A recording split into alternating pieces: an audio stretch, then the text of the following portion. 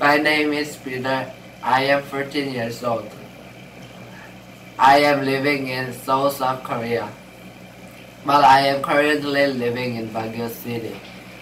My hobbies are learning other language and playing soccer. I came here in Philippines because I want to learn English. I like Baguio City because it has wonderful nature to see. I chose World Leaders English Academy because I want to improve my speaking ability. I see myself as a student who improved his speaking ability in English. After studying here, thank you.